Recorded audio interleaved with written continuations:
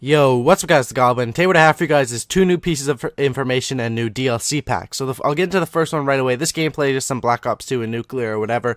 The first one is the Advanced Warfare Camo, which is basically out now today on Black Ops 2 and Call of Duty Ghosts.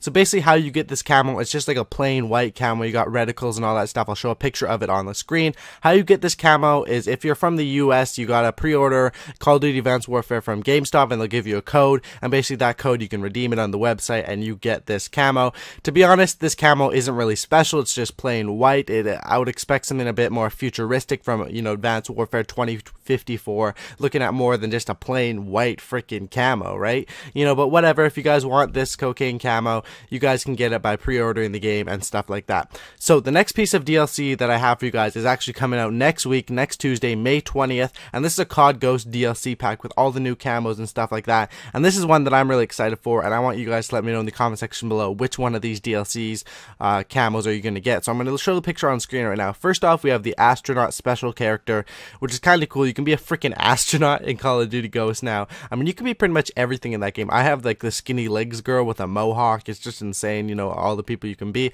Then we have the Spectrum pack. Obviously, the Spectrum camo is kind of that secret little mysterious camo. So now there's the pack to match it, which is basically the headgear, the uniform, and all that stuff. If you guys are interested in that. Next, we have the unicorn, which is kind of weird. It's like a purplish kind of camo. You guys can look at all the pictures, they're right on the screen. So unless you're blind, you guys will be able to see them. But unicorn camo looks kind of sick. Then we got the bling camo, that one looks okay. This is the one I'm really pumped for, the extinction camo. I mean, look at that thing, it's red.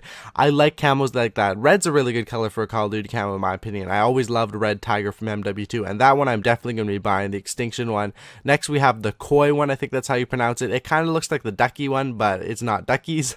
then we have heavy metal and fitness. Fitness looks pretty good as well. It's a green camo.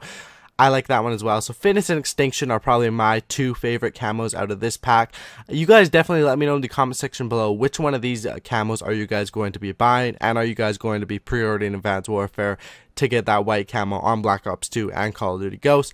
I'm not going to be pre-ordering the game to get that camo, but I'm definitely going to buy be buying most of these camos, especially the Extinction one and the Fitness one. I already do have the Spectrum camo, so I might get the Spectrum pack to match it. But I'm actually excited for these camos, which should be coming out next week. Uh, make sure to subscribe because obviously when these camos come out, I'm going to be showing you them on most of the guns and stuff like that and be covering the camos. So hopefully you guys did enjoy this video.